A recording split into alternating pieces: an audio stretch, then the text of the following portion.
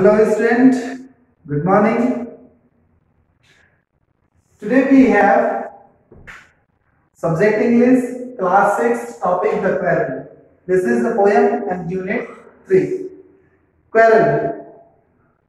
As we know, the meaning of the word quarrel is fighting with each other. Means fighting with brother, sister and so on.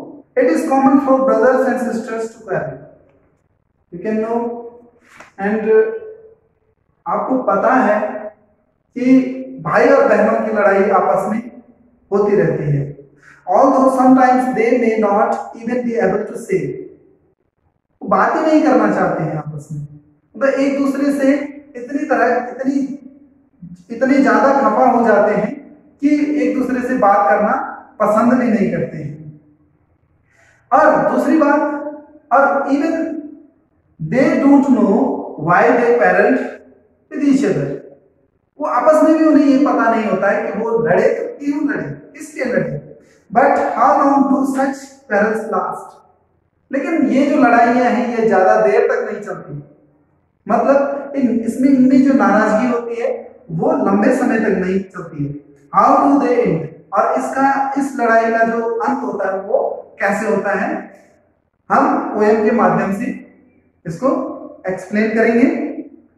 Let's be start I pair to with my brother I don't know what about one thing led to another and somehow we fell out the start of it was slight the end of it was strong he said he was right I know he was wrong first change of the poem and I am explaining I quarrel with my brother मैं अपने भाई के साथ लड़ा।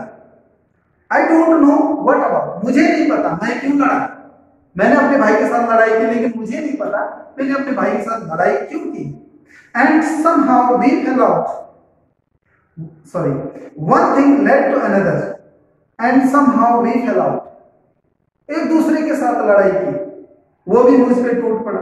मैं भी उस पर टूट पड़ा लेकिन ये नहीं पता कि लड़े क्यों, किस लिए हमारे बीच में लड़ाई हुई।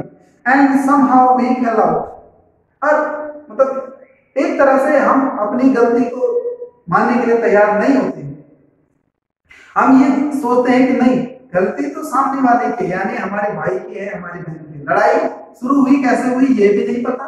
लेकिन अपनी गलती कभी एक्सेप्ट करनी नहीं यानी अपने आप को कभी गलती में कन्फेस करना ही नहीं है। The start of it was light इसका जो इसकी, यानी लड़ाई की जो शुरुआत होती है, वो बहुत ही कम शब्दों से होती है। स्लाइट यानी बिल्कुल स्लोली होती है, धीरे से होती है। The end of it was strong लेकिन जो अंत होता है, वो उस टाइम पे बहुत कुछ हो जाता है। यानी किसी के गाल पे चमाट पड़ जाता है, किसी के कहीं चमाट पड़ जाता है। कहीं किसी के बाल खींच लिए जाते हैं, किसी को मुक्का पड़ जाता है। He said he was right. यानी मेरा भाई कह रहा है, मैं सही हूँ, तूने गलती करी, तूने मेरे साथ लड़ाई शुरू करी।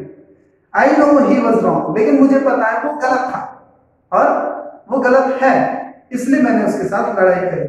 We had at one another the afternoon turn black then suddenly my brother thumped me on my back and said oh come along we can't go on all night i was in the wrong so he was in the right This is second stanza of the poem. And we hated one another. हम एक दूसरे को नफरत की निगाहों से देखने लगे यानी आपस में जो है अच्छी निगाहों से अच्छी नज़रों से नहीं देख के बल्कि नफरत की नज़रों से एक दूसरे को देख रहे थे या देखने लगे द आफ्टरनून टर्न ब्लैक कुछ ऐसा हुआ। मतलब एक घटना घटित हो गई। Then suddenly my brother thumped me on my bag मेरा भाई आके पीछे से मेरे मेरे बैग यानी कमर में थपकी मार के कहता है एंड सेड क्या कहता है? ओ कम अलोंग आओ, साथ में आओ, मेरे साथ में आओ। We can go all night on all night हम सारी रात भर ऐसे लड़े, झगड़े नहीं रह सकते हैं। मतलब ऐसे चुपचाप एक उधर मुँह करके, एक इधर मुँह करके नहीं रह सकते हैं। भाई बहन आपस में लड़ते भी हैं, तुरंत उनमें सलाह मशवरा भी हो जाता है, वो बात भी करने लग जाते हैं, फिर दोबारा से खेलना शुरू कर देते हैं। I was in the wrong अब वो अपनी गलती को रियलाइज़ कर रहा है, कह रहा है I was in the wrong मैं गलत हूँ। So he was in the right छोटे को एहसास हो रहा है कि बड़ा गलत नहीं था, बड़ा सही था।